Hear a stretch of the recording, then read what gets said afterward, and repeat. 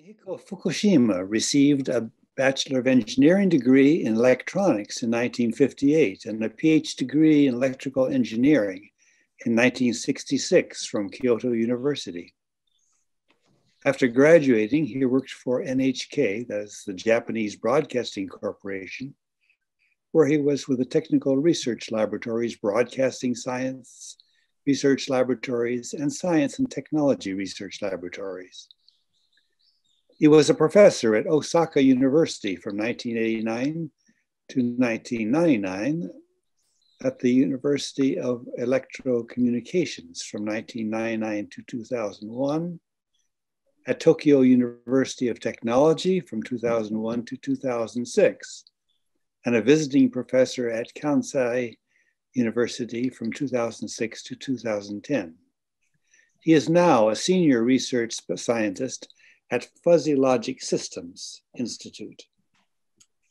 Among his awards are the 2021 Bower Award and Prize for Achievement in Science from the Franklin Institute, the Achievement Award, Distinguished Achievement and Contributions Award, and Excellent Paper Awards from IEICE, the Neural Networks Pioneer Award from IEEE, the APNNA Outstanding Achievement Award, the Excellent Paper Award and Academic Award from JNNS, the INNS Helmholtz Award, the Pioneer Award from ELM 2017, the Kenjiro Takayanagi Award 2019 from the Kenjiro Takayanagi Foundation.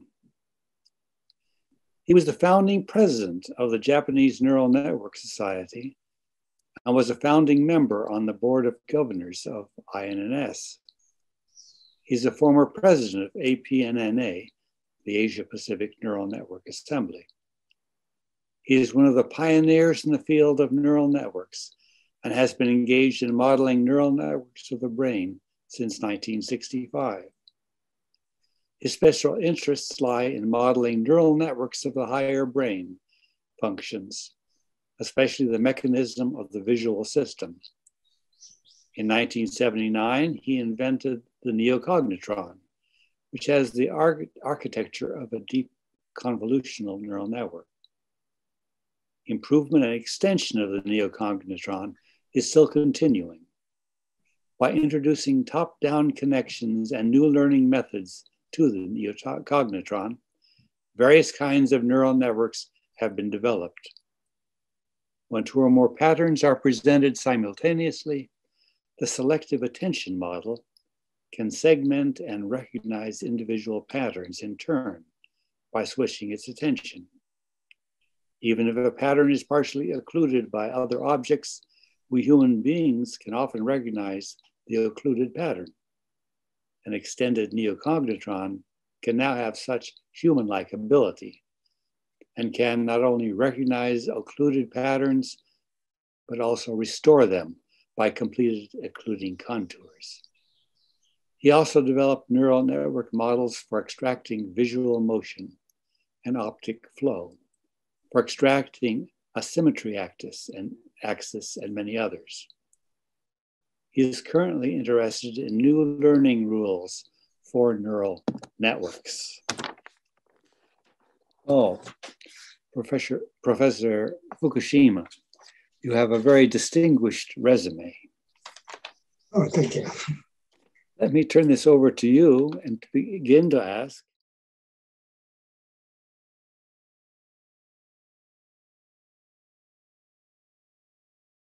How did you get into the field? Well, uh, when I, when I first joined the NHK, Jap- Japanese Broadcasting Corporation, and uh, were in the technical research laboratory, I first uh, made the research on the 3D TV and also uh, efficient coding of television signals. And uh, for the work for uh, efficient coding of TV signals, I got the PhD degree. And uh, in 1965, NHK established the Broadcasting Science Research Laboratory, where we make the basic research laboratory, uh, And uh, we wanted to make the research in the interdisciplinary research between uh, neurophysiology, psychology, and engineering. And I was in the group and I learned about the neurophysiology of visual system of cat and monkey. And at that time, uh, Hubel and Wiesel were very active and they recorded their neurons in the uh, visual cortex of uh, mammals.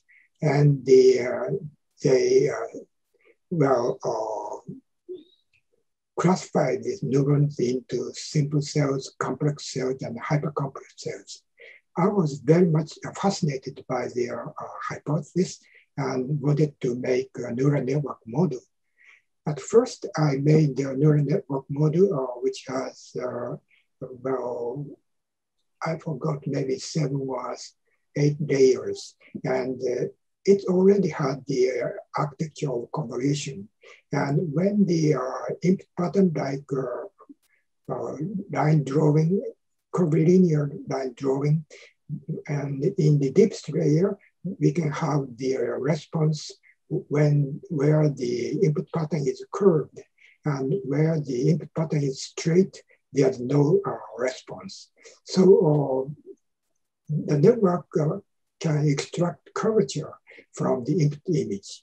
The architecture of the network already had the, uh, well, architecture of uh, convolutional neural networks, but it didn't have any ability of learning.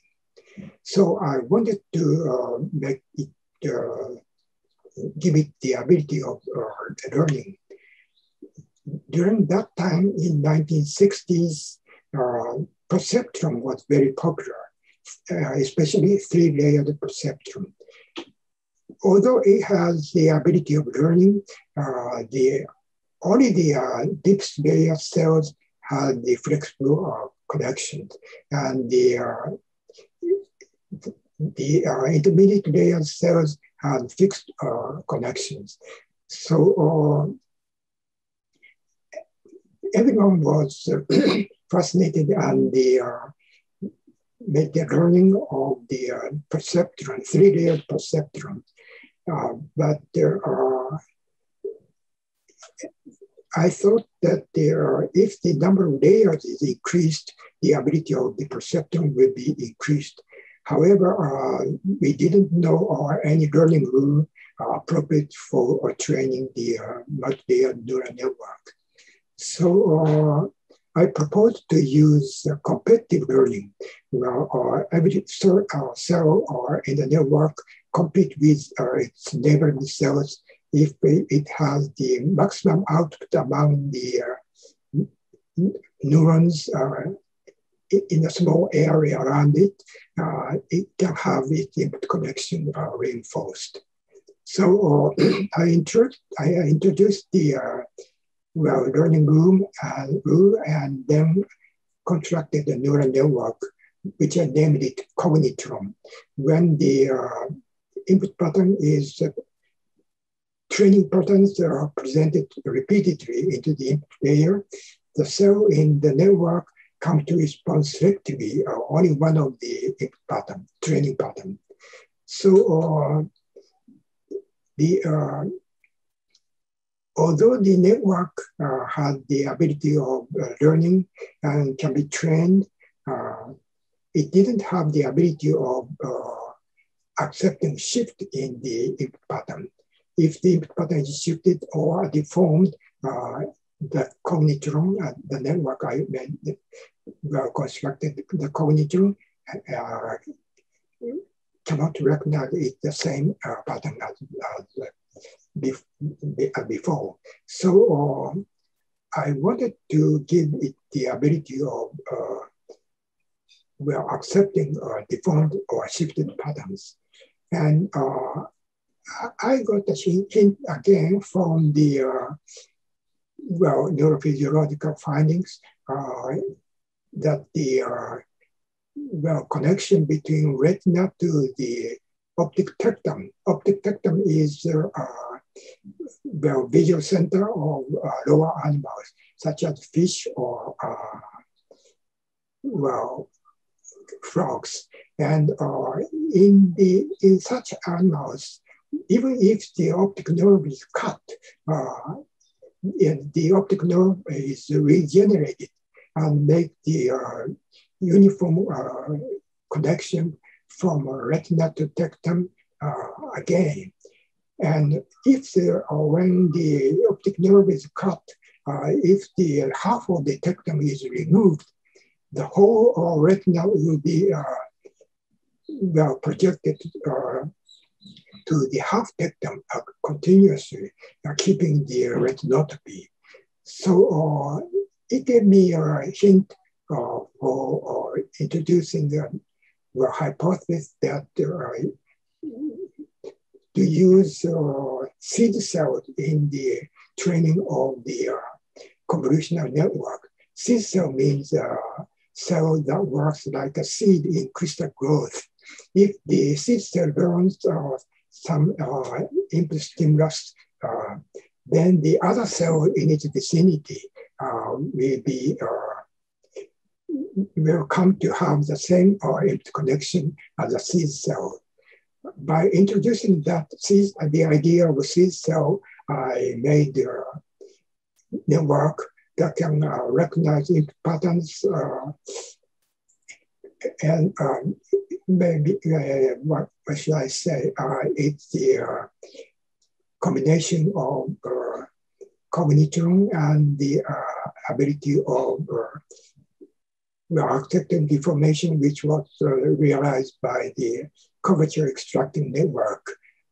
So uh, by introducing the, the idea, I uh, made a neural, uh, neural network model, uh, which I which I uh, named the neocognitron, because the network can uh, recognize deformed patterns and can be trained by, in that case, by supervised learning. And then uh, this, that's the origin of the neocognitron. And uh, it already had the ability of uh, self-organization and uh, well, uh, it had the ability of learning and can recognize different patterns. And uh, I think it's the origin of uh, deep convolutional network, which is very popular uh, recently. And uh, even now, I'm trying to extend the uh, and uh, also improve and extend the ability of the neocognitron. For example, uh, by uh, adding it the well backward signals well, or I made the network that can um, have the ability of selective attention. And uh, if uh, plural uh, number of uh, stimulus is given, the uh, network can focus its attention to one of them and recognize it. And even if the input pattern is uh, partly deteriorated or missing, uh, still the uh, network can uh, restore the missing part. And I also made some network that can recognize well motion of the empty image. For example, or rotation or expansion of the empty image uh, can be detected by the network. So uh, I also made some network that can recognize uh, symmetry axis from uh, some deformed patterns. So uh, I'm uh, interested in uh, realizing the uh, ability of human vision uh, and to try to realize it by neural networks. That's very impressive that you were able to do all of this in, in those early days when computers were much slower. Mm-hmm. Yeah,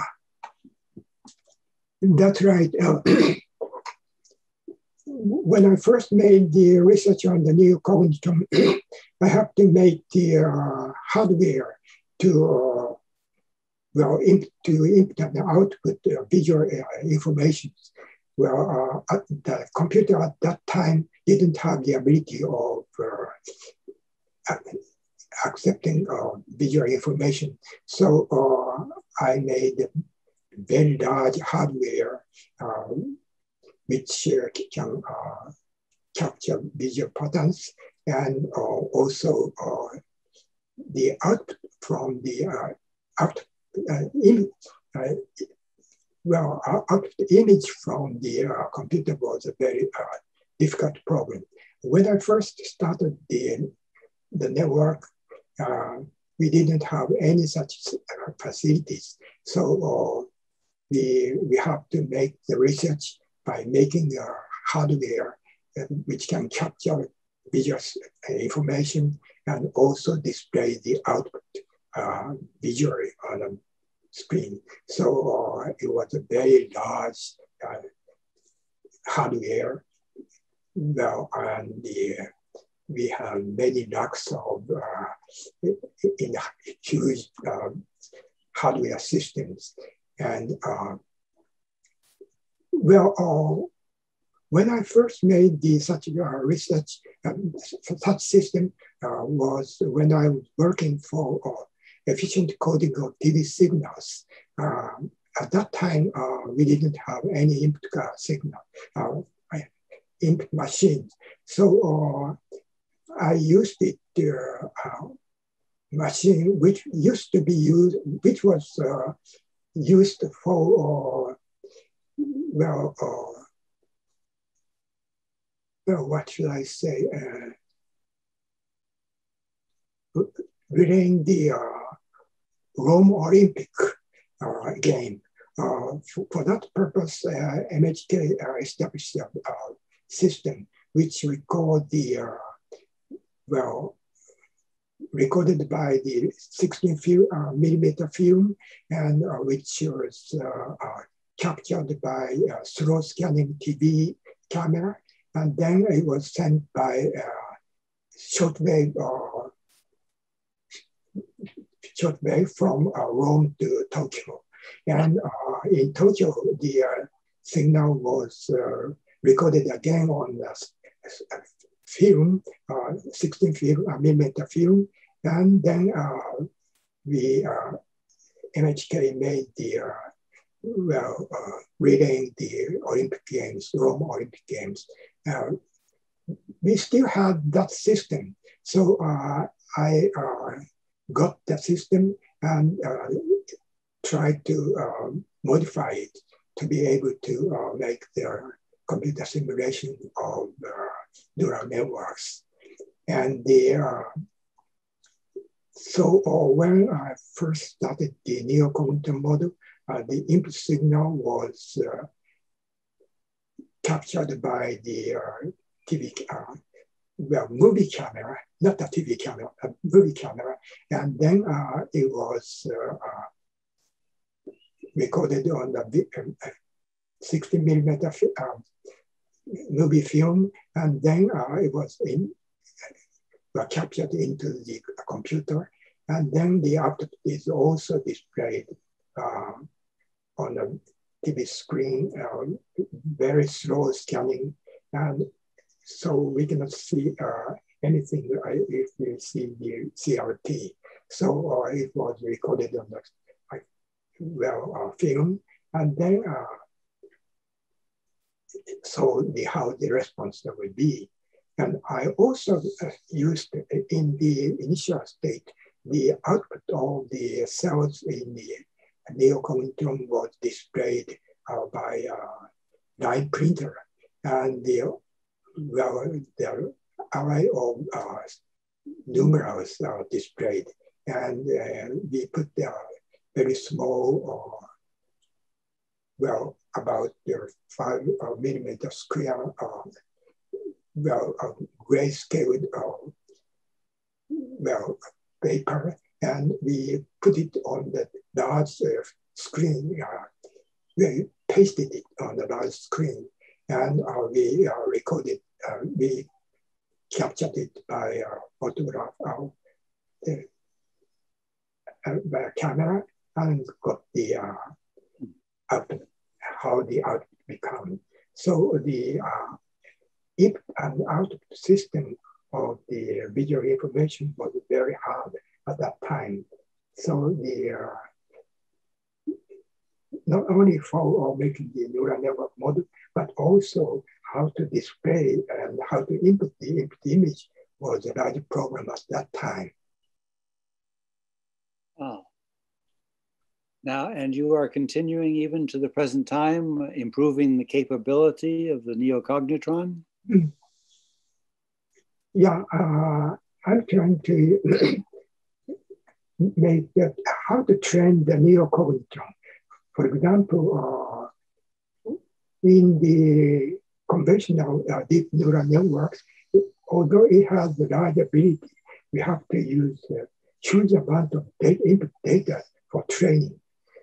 Well, uh, I'm trying to uh, make a system which can uh, be trained with much smaller number of a smaller amount of uh, training data. For example, uh, I'm, try, I'm now trying to use interpreting vector. It's the uh, idea that the uh, output signal is uh, made the interpretation of two uh, different output. And the, so in that system, we try to well, test to which pattern made of interpretation of two uh, stimulus patterns uh, will be, uh, well, it's difficult to explain. Well, um, which is most resembling to the interpreting image. So in that case, even if we use only small number of training patterns, the uh, well, training pattern is uh, emulated by uh, make the uh, interpolation between uh, two uh, training vectors. Uh, recently, I extended to four training four are interpreted four vectors made by uh, interpreted vector. So in if we look at it in the vector space, it, the interpolation be, of uh, image using the four or by the hyperplane made of four reference vectors. So uh, by using it, uh, the uh, well, we can say that the uh, well uh, in the conventional neural networks, a huge amount of uh, training data is required. But uh, in the interpreting vector, we try to make it uh, during the, well, recognition phase, not during the training phase. So uh, even if we use only a small number of training vectors, uh, we can uh, have the situation which resemble the, uh, well, the situation where the huge amount of data is presented so uh, the uh, default patterns are made into the network, not during the uh, training phase, but during the recognition phase. So uh, we can recognize patterns with a smaller number of training vectors. So uh, that's one of the things I'm uh, trying to use, trying to well, make the research. That would be very, very valuable. I wonder, changing changing the focus now.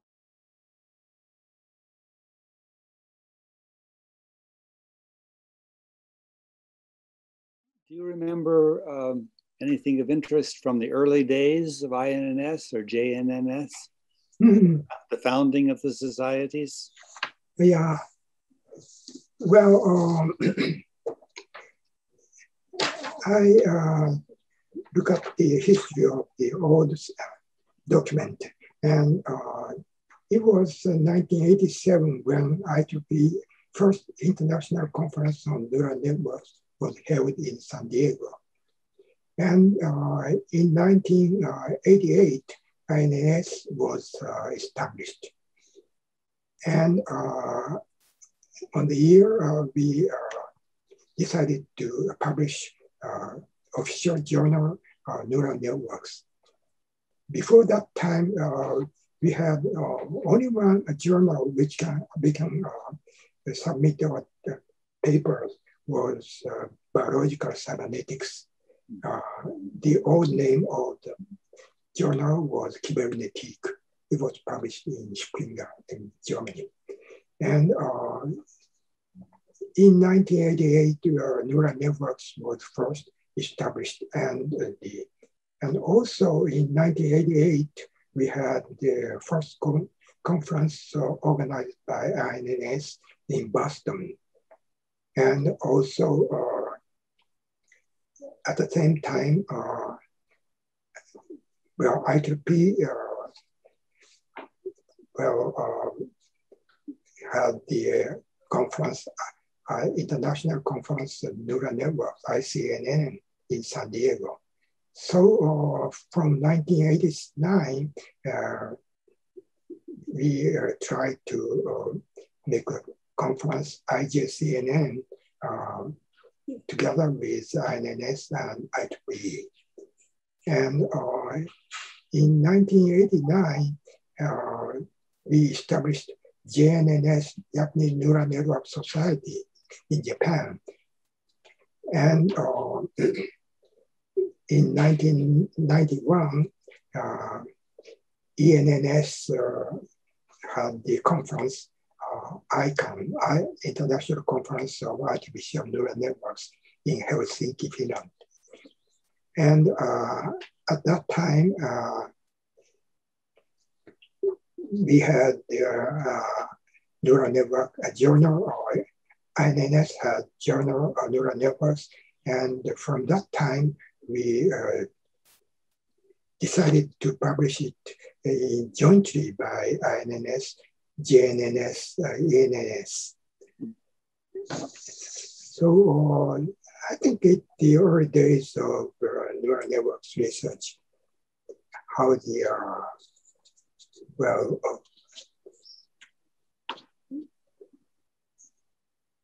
how the meetings are made. Yes. What about for the future? Uh,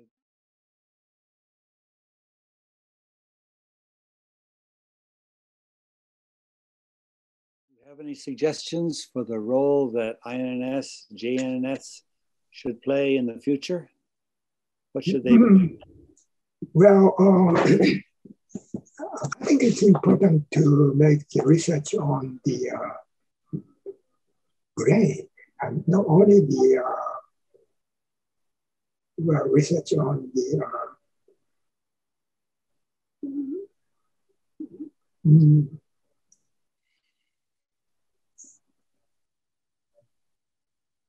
I, I look, look, at the history of the neural networks.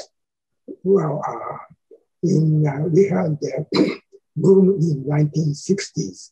That, that was the first boom. Uh, during that time, perceptron was very popular.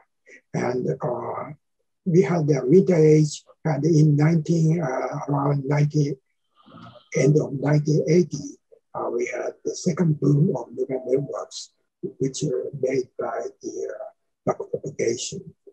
And uh, we again had the winter age, and now in the uh, we are in the third boom um,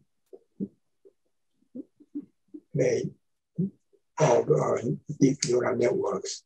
So uh, in order to prevent entering again into the winter age, we have to prepare to the, the future. And I think it's important to learn from the biological brain.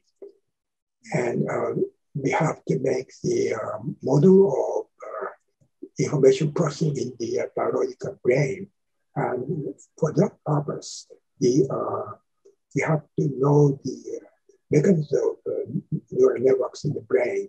And I think it's important to use, make uh, neural network models of the um, brain. And in order to make the model, the deep conventional uh, deep neural networks is uh, very uh, become a very powerful tool for well making the uh, model of the biological brain.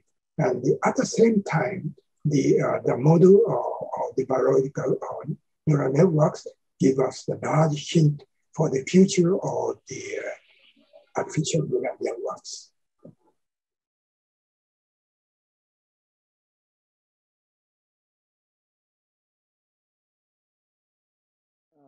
What advice would you give for a researcher just starting out in the field? Hmm. I, I think, uh, as I told you now, uh, it's important to learn from the biological brain. So uh, the cooperation between uh, our artificial neural networks and uh, the research on the uh, neurophysiological and uh, psychological research on the visual system of mammals is very important for the future of uh, artificial neural networks.